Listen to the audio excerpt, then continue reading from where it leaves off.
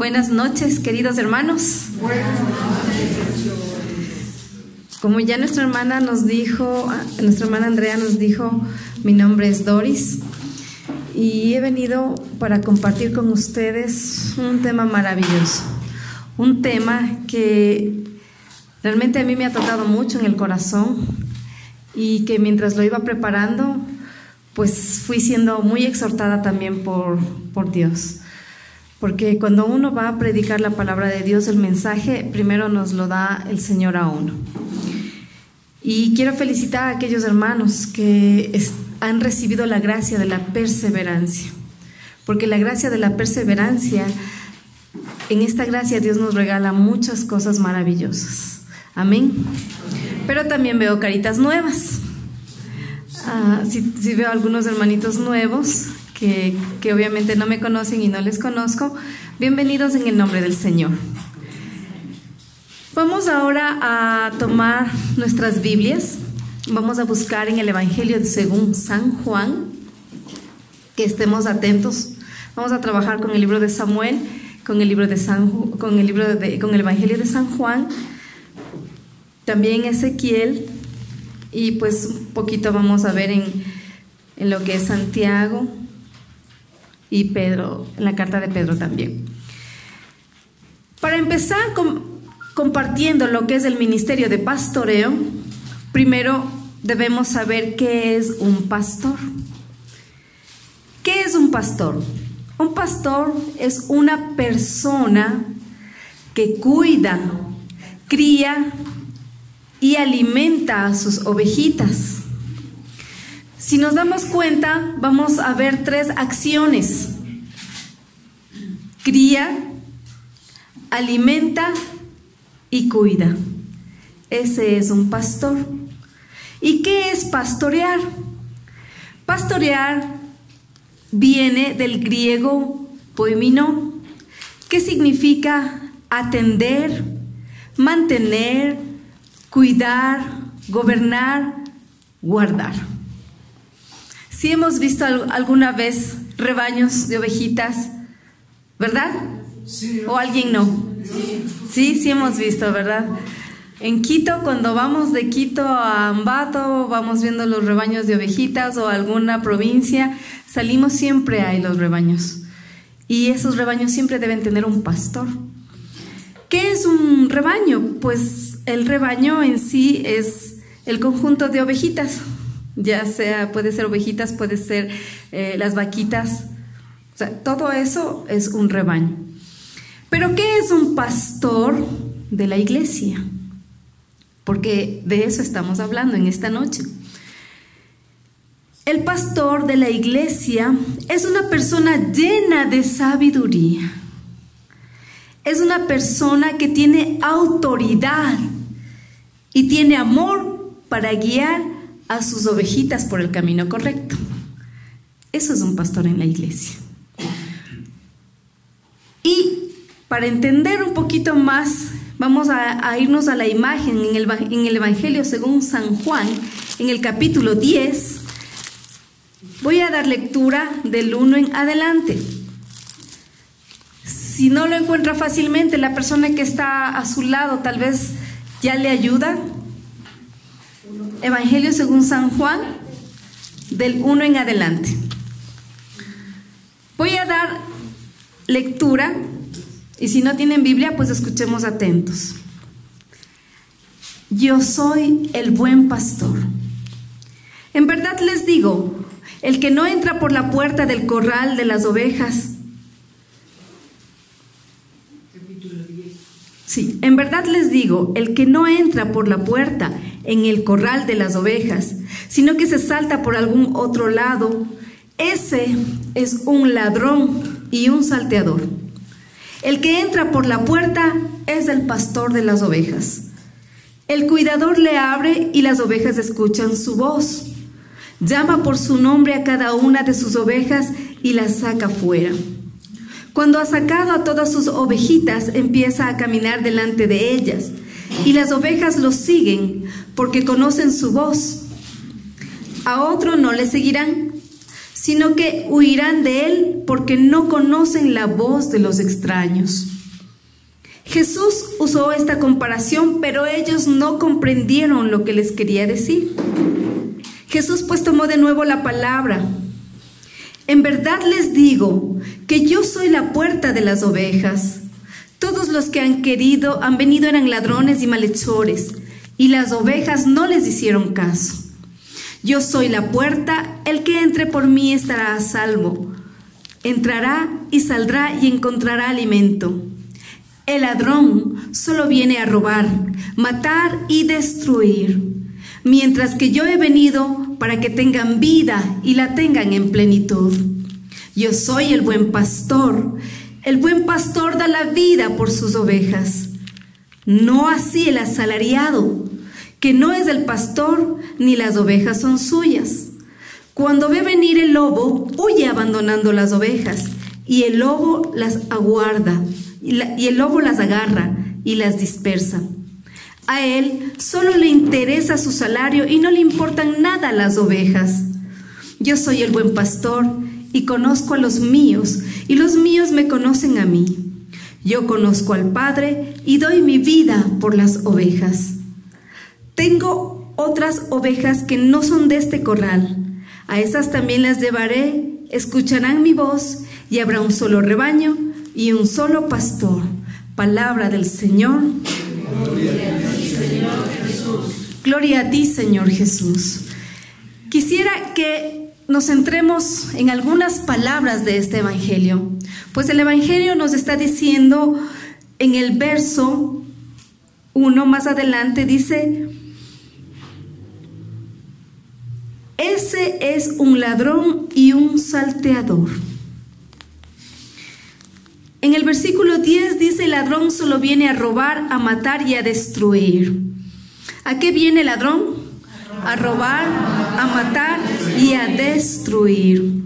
Nos está hablando de acciones concretas. Pero Jesús dice, yo soy el buen pastor. Yo doy la vida por las ovejas. No así el asalariado el pastor y el asalariado. Y al final dice, y yo doy mi vida por las ovejas. Ya más o menos tenemos una figura de lo que es un pastor, pero quisiera que nosotros nos centráramos en la figura de David. De David, el pastor, antes de ser el rey David. En el, en el libro de Samuel, en el primer libro de Samuel, en el capítulo 17, más o menos vamos a, quiero compartirles más o menos el tiempo donde estaba David. David era pastor de ovejas. En el tiempo en que el rey Saúl perdió la gracia de Dios, perdió su presencia, era atormentado por un espíritu malo. Y mandó a buscar a un músico, al mejor músico que había en la región. Y este era David. Dice la palabra en Primera de Samuel, pero no lo busquen ahorita, solamente se les voy a leer. Dice que David, sus viajes, hacía viajes al campamento de Saúl con el cuidado del rebaño de su padre. David alternaba sus viajes al campamento de Saúl con el cuidado del rebaño de su padre en Belén. Es decir, David hacía estos dos trabajos.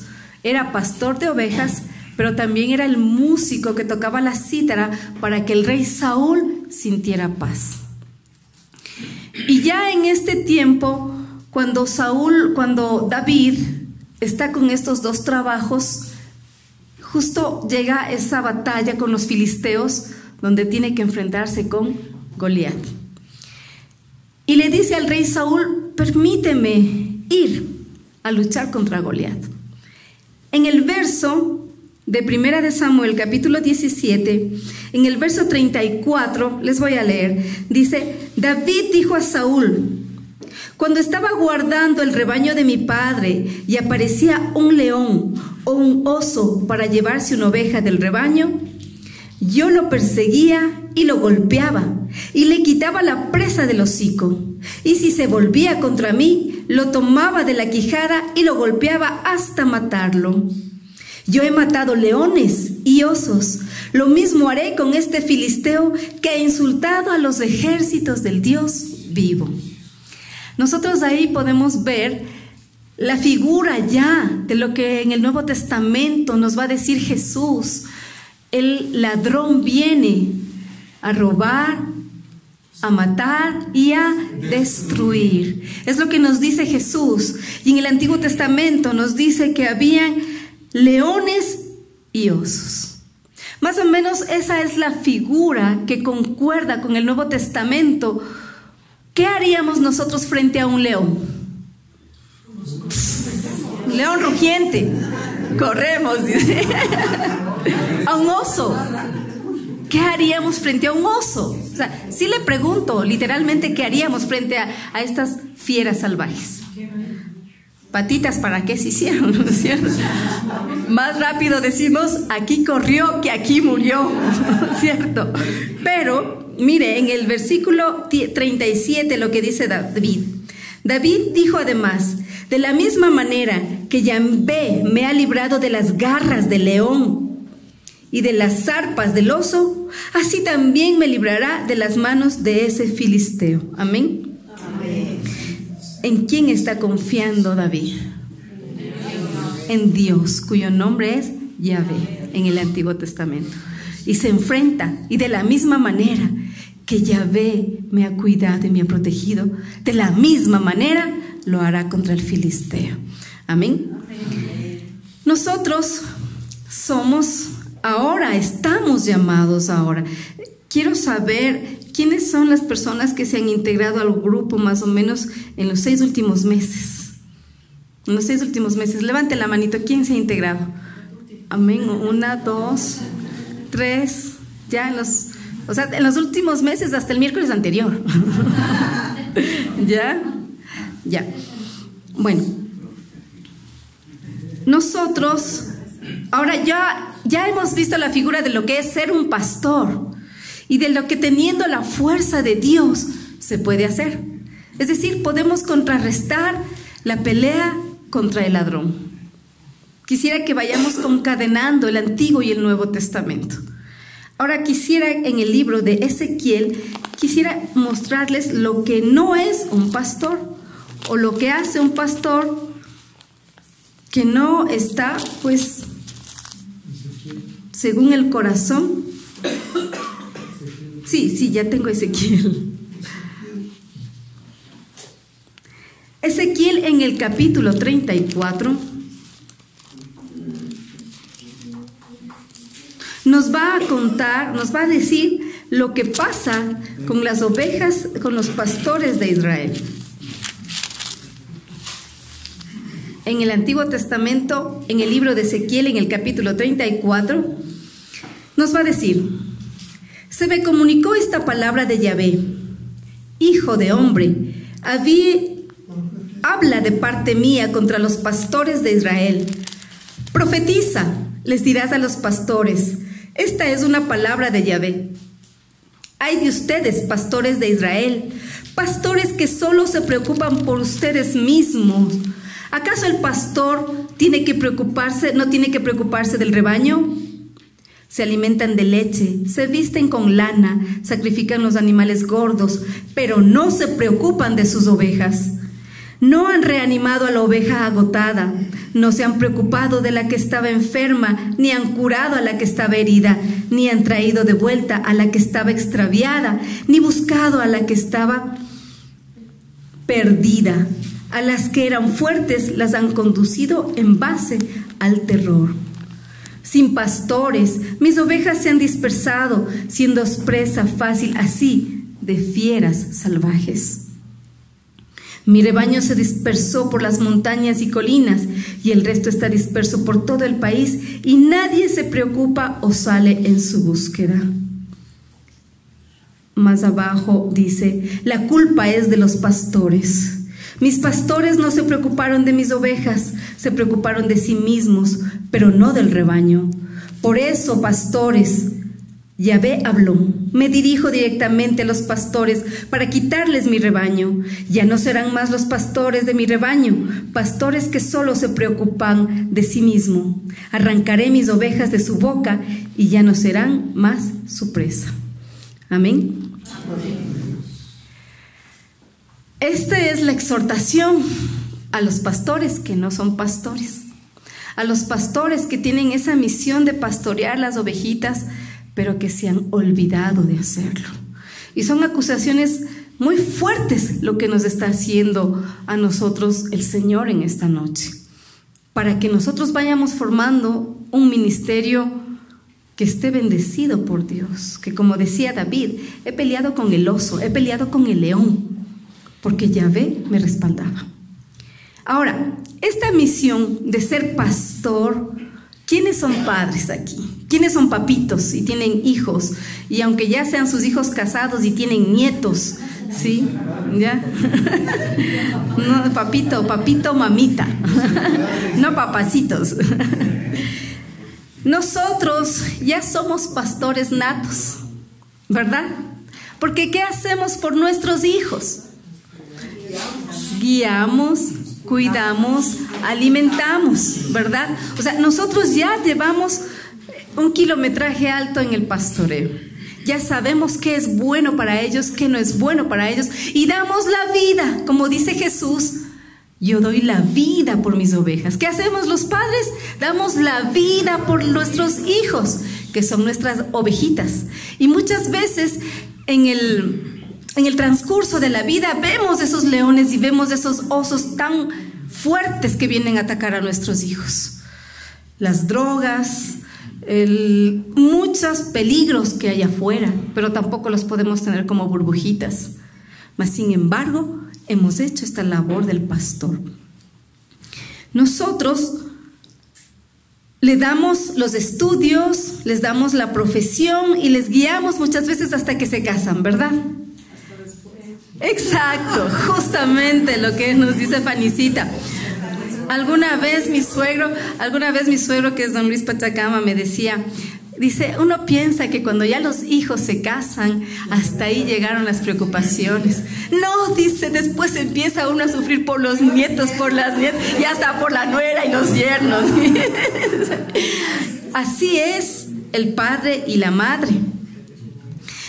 Por ejemplo, si nosotros decimos, eh, les estamos educando, qué sé yo, una profesión de ingeniero, qué sé yo, la escuela o el colegio, ¿acaso a ellos les permitimos que vayan o no vayan a la escuela o a la universidad?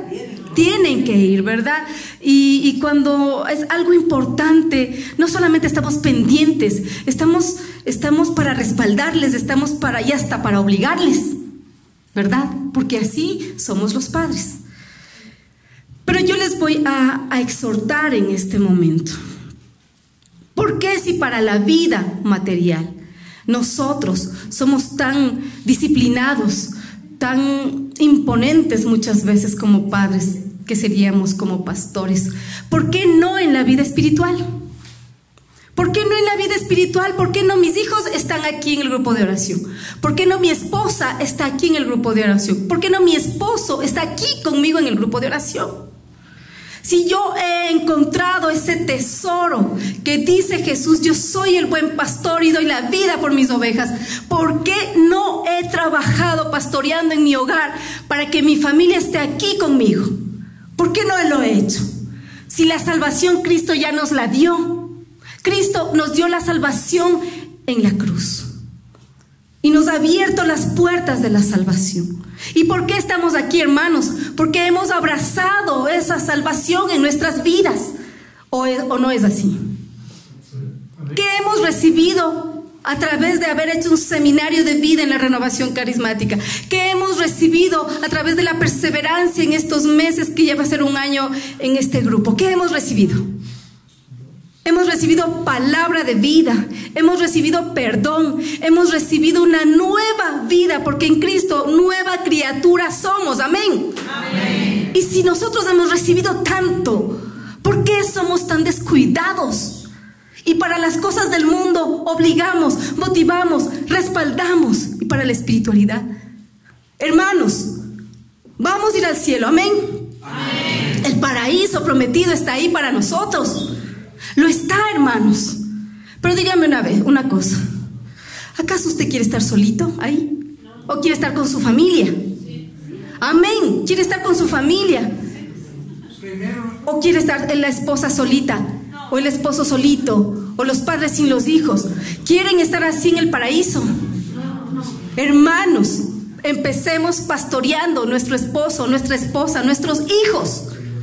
Porque si no, el paraíso no será tanta alegría de estar nosotros solitos ahí.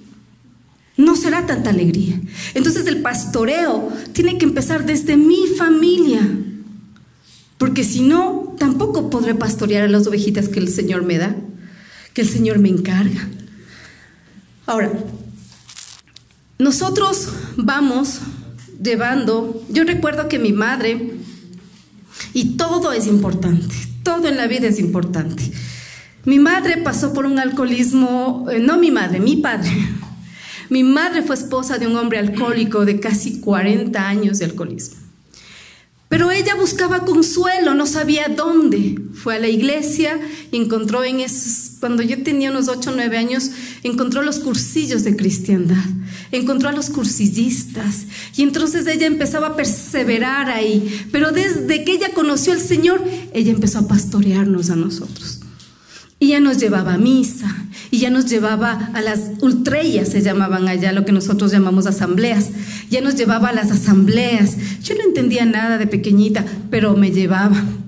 Y seguía, cuando ya vino a Quito se sintió sola, buscó, mm, buscó los cursillos, pero eran muy lejos en el sur o muy lejos en el norte, y se encontró con la renovación carismática. Y mire esa sencillez de ella, les llama a, los, a sus pastores de los cursillos y le dice, ¿sabe qué? No hay, no hay los cursillos por aquí. le dice, encontré la renovación de los carismáticos. Y dice, ¿será que puedo ir allá? Y entonces los hermanos de Ambato le dicen, sí, vaya, vaya. Entonces ella continuaba y yo ya era adolescente, ya tenía 17, 18 años y me decía, vamos a la convivencia. Y los oídos estaban tapados. Y vamos para acá, y vamos para allá. Y sin embargo nunca dejó de pastorearnos. Nunca. Estaba siempre ahí pendiente, esperando a cualquier evento para ver cómo nos llevaba. Nosotros como pastores, como padres, tenemos que ser creativos, tenemos que ser, buscar la manera, si hay un retiro, pues qué sé yo, no sé qué hago, le hago la comida que más le gusta a mi esposo o le invito a algo o a mis hijos. Les digo, nos vamos, porque como padres tenemos autoridad o no. Aunque sean padres y abuelos, todavía el papá tiene autoridad. Y miren, siendo así, mi madre creo que hace unos 10 años más o menos, les dijo a sus hijos, era el día de la madre, Pentecostés, caía el día de la madre. ¿Y sabe qué le dijo?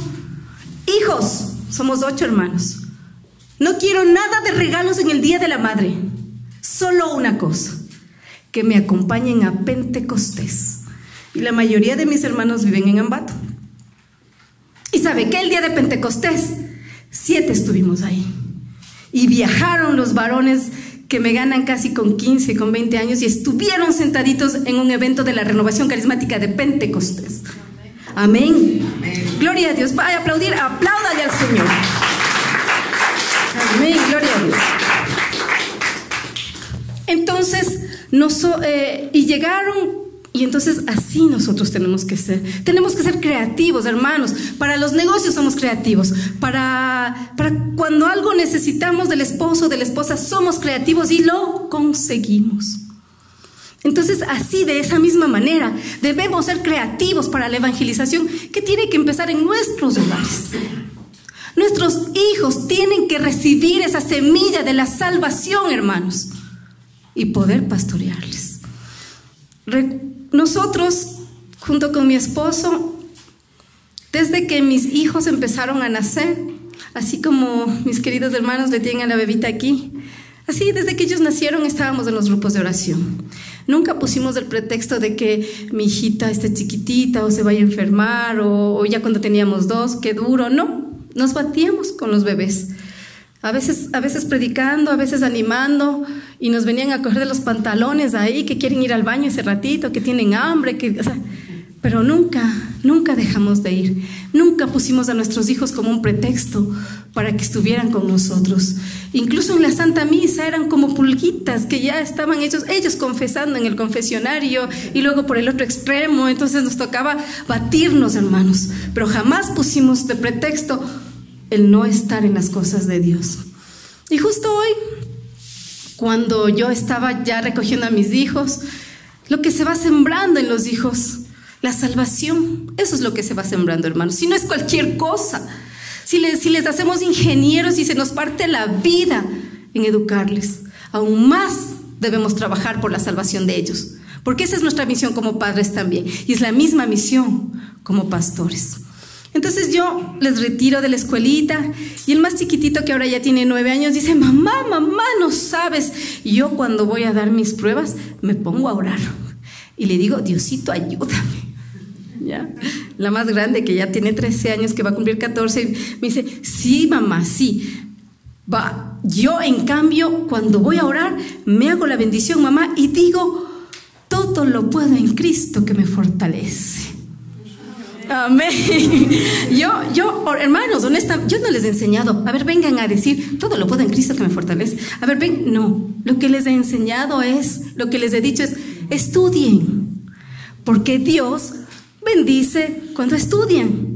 Ustedes se van a sacar buenas notas porque han estudiado, no porque ocurrió un milagro. Dios va a bendecirles en el momento en que ustedes hayan estudiado. Y me dice mi hijita, sí, mamá, eso sí es cierto, eso sí es cierto, porque yo le dije, Diosito, ayúdame, yo sí estudié y la profesora empezó a decirme y una cosa y otra cosa. Y yo respondí en el momento, dice mamá, y me saqué 10. Y estaban felices, ¿por qué? ¿Por qué les cuento esto, hermanos? Porque en ellos se está sembrando la semillita de la salvación.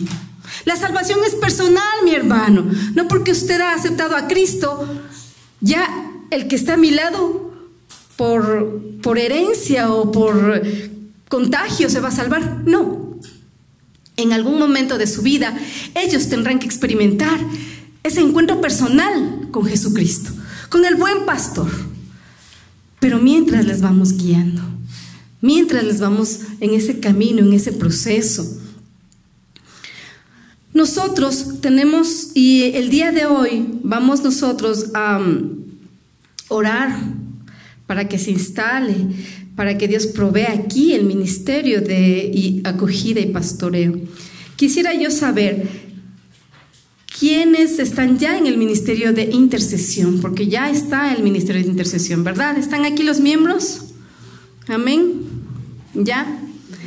Y ahora vamos por el ministerio de pastoreo. Ahora, ¿recuerdan cuando les hablé sobre el ladrón? ¿Recuerdan cuando les hablé sobre el que viene a robar, a saquear y a destruir? Hermanos, cuando nosotros no luchamos por la salvación de nuestra familia, adivine qué está pasando. Adivine quién está obrando ahí. El ladrón. Hermano, ¿usted va a permitir que el ladrón le quite la salvación a su familia? No, pero díganlo, no fuerte. No. Entonces, hermano, porque el ladrón viene a robar, a destruir, a matar. Y el ladrón es el león rugiente. Y dice la palabra que el león rugiente está en pose. ¿Cómo, cómo es la palabra? Listo. Dispuesto para atacar. Y nosotros en la vida espiritual vivimos una lucha espiritual. No se los ve, hermanos, tampoco les quiero asustar, pero nosotros vivimos una batalla espiritual diaria. Se libran batallas espirituales para que nosotros vengamos al grupo de oración. Se libran batallas espirituales fuertísimas cuando nosotros decimos sí al Señor. ¿Alguna vez le ha pasado a usted que llega miércoles 5 de la tarde y su corazoncito ya empieza a emocionarse porque va al grupo de oración, ya empieza a emocionarse. Pero llegó la prima, la tía, la suegra, la sobrina, qué sé yo, y le llegó alguien. ¿Y usted, hermano, qué hace? ¿Se queda o se viene? Se queda, dice por acá. Es que imagínese, hermano, lo que está pasando. ¿Por qué usted en ese momento no le dice a quien llegue a su casa, mira, ya que has venido, no es una casualidad. No es una casualidad. Yo te quiero llevar al grupo, a mi grupo de oración, a mi grupo de oración porque ahí recibí la palabra de vida. Vámonos. No es un pretexto para que falte mi hermano. Es la oportunidad para evangelizar. Y de esa manera no permitimos que el ladrón nos robe, hermanos. O cuando va a haber una convivencia en día domingo. ¿Qué hacemos los domingos? Es de la familia, ¿verdad? Y justo eh, del sueño, es el día de descanso, dice la Teresita. Hay una historia, hay una historia de una viejita evangélica, protestante, que se alista para ir al culto. Y entonces ella se viste, pero con el mejor traje que tiene el domingo que va al culto. Y entonces cuando los nietos le preguntan, abuelita, ¿dónde te vas? Y la señora le dice, me voy a mi iglesia, me voy al culto, me voy a rendir culto a mi Señor, me voy a mi iglesia. Pero hay otra, otra abuelita, abuelita católica. Entonces esta abuelita, pues llegó el domingo, ¿no? Como dice la Teresita, me duermo un poquito más. Y se pone un calentador, por ahí quiere estar cómoda, no se quiere incomodar, no quiere ponerse el traje de gala. Y los nietos le preguntan, abuelita, ¿dónde te vas? ¿Y qué sabe qué le responde la abuelita?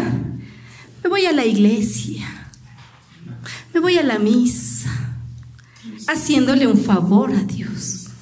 ¿Por qué los nietos de la abuelita evangélica sienten esa curiosidad, sienten esa inquietud por lo que dice la abuelita?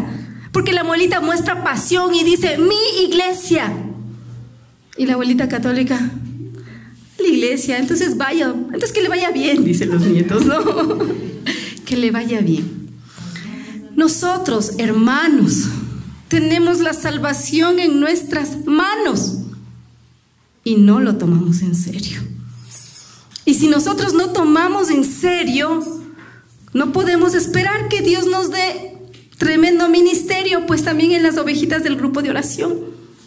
En esta noche le vamos a pedir al Señor que Él nos dé esa misión. Primero en nuestros hogares, primero con nuestros hijos, nietos, con nuestro esposo, con nuestra esposa, primero con nuestro hogar. Y ahora sí podremos pastorear en este grupo de oración. ¿Recuerdan cuando David le dice, si es que la presa se volvía, yo le cogía de la quijada, dice, y le mataba.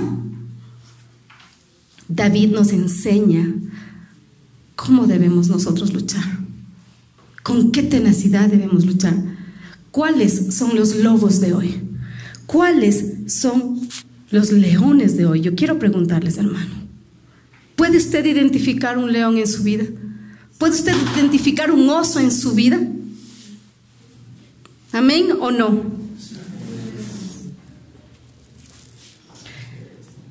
Nosotros, en Primera de Pedro, en el capítulo 5, me voy rapidito,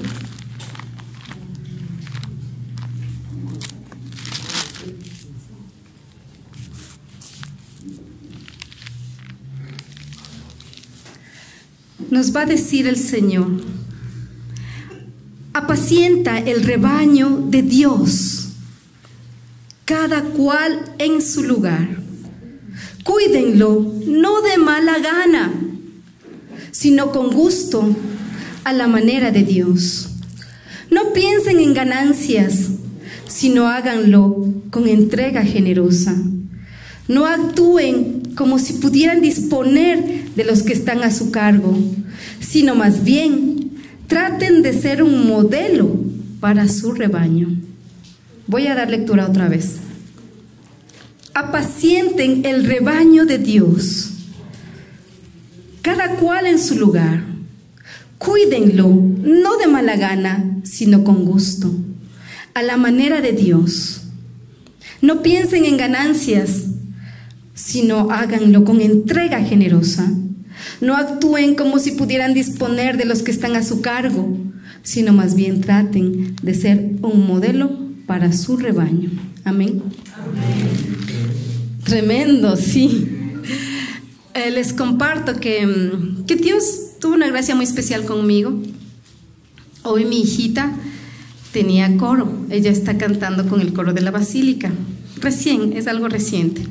El lunes no se fue por las pruebas, pero hoy me dijo, llévame mamá, porque mañana las pruebas son fáciles y quiero irme al coro. Entonces, como han bloqueado una de las avenidas, nos fuimos caminando. Y yo me llevé mi Biblia porque mi intención era visitar la capilla de, de la basílica que está consagrado al corazón inmaculado de María. Entonces dije, le dejo, me voy a orar un ratito por las ovejitas que están aquí. Pero resulta que como no pudiera en auto, me tuve que ir a pie. Y me tuve que quedar esperándola una hora y media.